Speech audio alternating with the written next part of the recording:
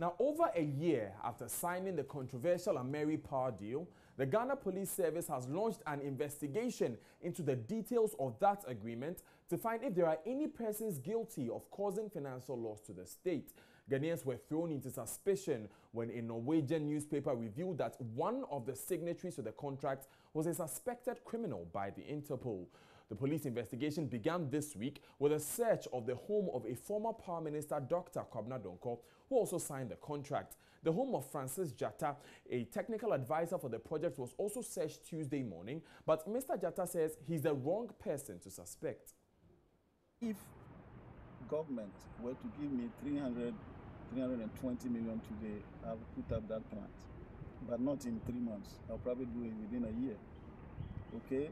And at, at the time, government didn't even have the money to do the civil work, which was about uh, 24 million Ghana cedis. Just the civil work. Ghana government didn't have the money to do that work. So how could he have got the money to do a 320 million dollar project? Therefore, you have to go to a developer. Ameri is a developer.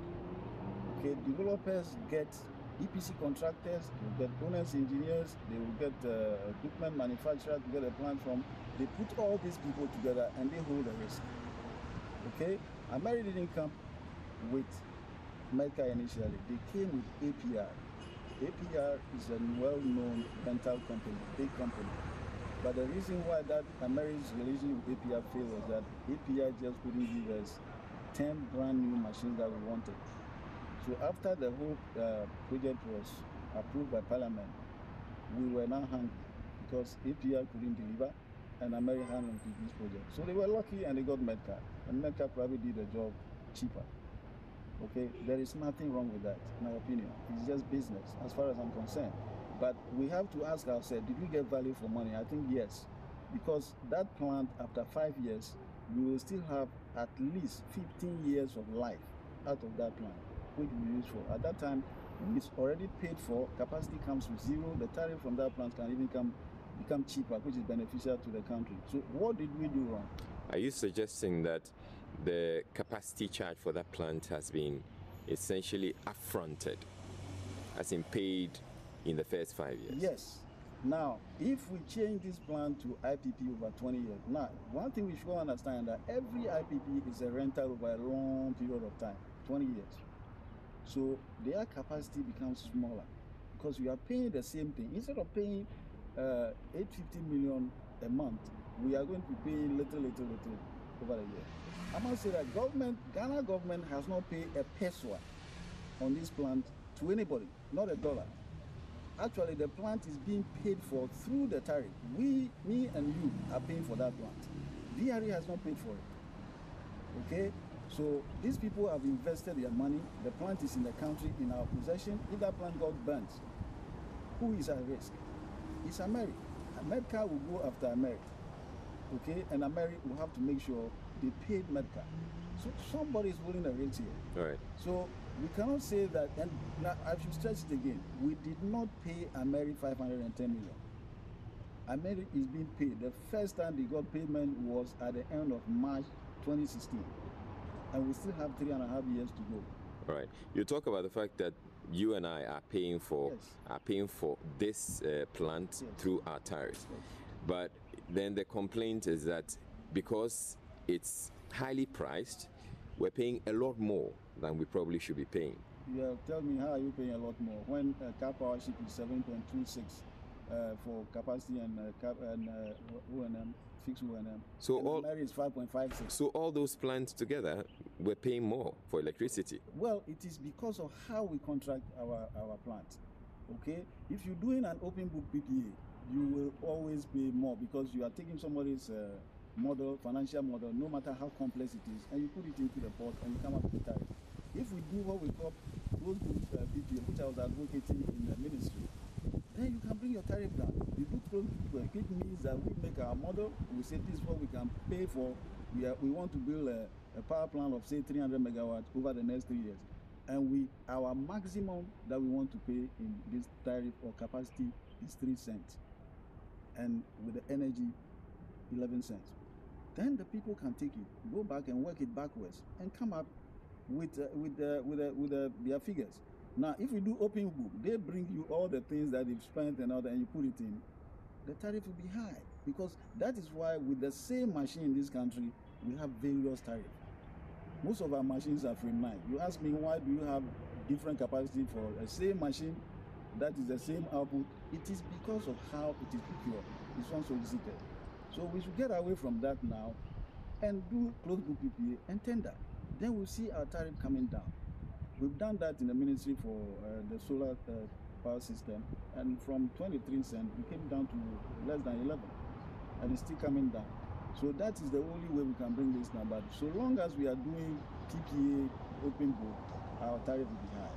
But in terms of Ameri, which is 5.56, compared to the other one, same power 6 point something, uh, you know, uh, Karpower 6.2, 7.26, uh, Aksa 7.05. You cannot say that Ameri is more expensive. Okay, so that is what we did as technocrat. We compared all these things and we said this is what. Now, if somebody is making money anywhere, we don't know. I don't know, and I don't think there's any financial loss here. This is strictly business. Somebody approaches you, you don't have the money, he wants to do this thing. It's a high purchase. Okay, if you buy a Land Cruiser today of hundred thousand, if you have the money, you drive into the showroom, you pick it up, and you go hundred thousand dollars. If you want to buy a high purchase over three years, you may pay 200,000 at the end of the three years. It's the same thing we are talking about. We don't have the money. So somebody get somebody to bring the money. He makes his money. Face the person. Don't come and call me Francis Jatta because I have nothing to do with it. Now, the Ghana Police Service, however, says the two persons are not being suspected of any wrongdoing and the police is simply gathering information to help that investigation. I earlier spoke with the Director General for Public Affairs Directorate of the service, ACP David Eklu, on this matter. We did not conduct a raid on his house. What, what we did was to execute a warrant or a court order to search his premises to look for evidence in relation to an issue that the police wants to find out whether somebody is culpable or not. So, which issue are you investigating? The issue is about causing financial loss to the state in relation to a contract between the Ghana government and Ameri for supply of gas to Ghana. And why are you searching Dr. Donkor's house?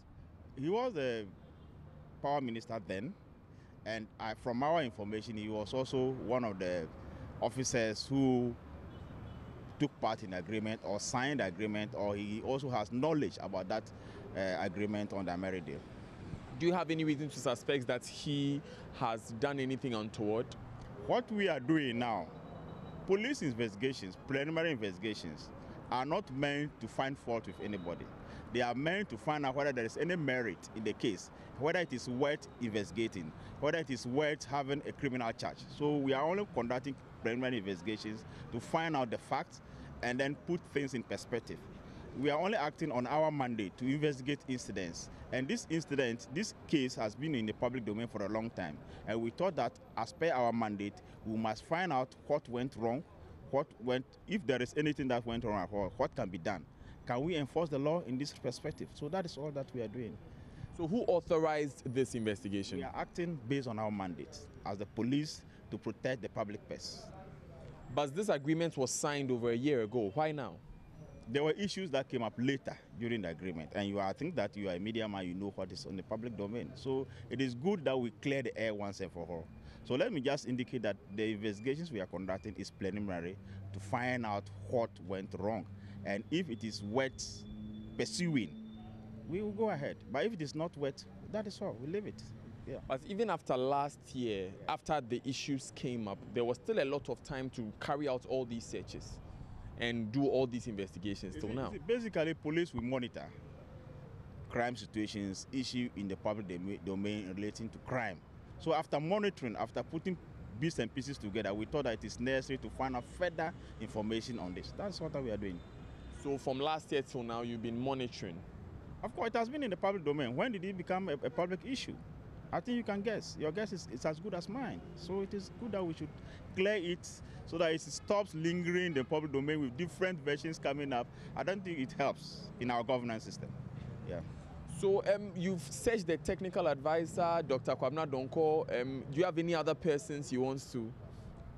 Investigations are basically to find out whether there is merit in the case in the public domain.